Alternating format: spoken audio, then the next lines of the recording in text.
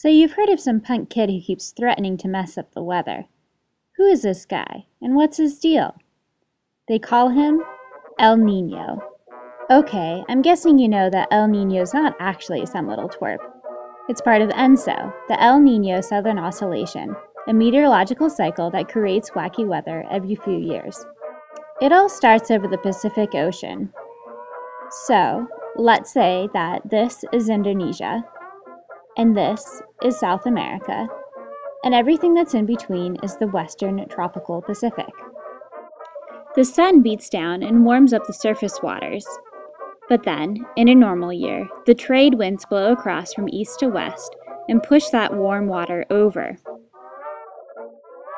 This means that the western part of the basin is actually half a meter higher than the eastern part, since all that sun water gets collected into what's called the western warm pool. Water from the deep then comes up closer to the surface on the east side to replace what got blown over. This upwelling brings up fish food too, which is why the Peruvian fishing grounds are one of the five most productive in the world. The fact that all the warm water is pooled to the west also means that it heats up the atmosphere over there. The warm air rises until it gets high enough to cool to form clouds, which then forms rain, which supports all the rainforests in Indonesia. Okay, so that's a normal year. But what happens when El Nino comes to town? He starts by weakening the trade winds, or sometimes even reversing them. Why does he do this? Scientists still don't know. This means that all the water that was pooled to the west starts to flow east, and the sea level flattens out as the warm pool moves across the basin.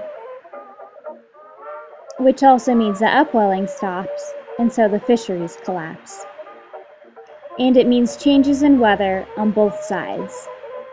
The parts of the world that normally get tons of rain suddenly find themselves in drought, which can undermine fragile food supplies. On the other side of things, the parts of the world that are normally cool and dry suddenly find themselves hot and in danger of floods. All because of a shift in heat out of the western warm pool.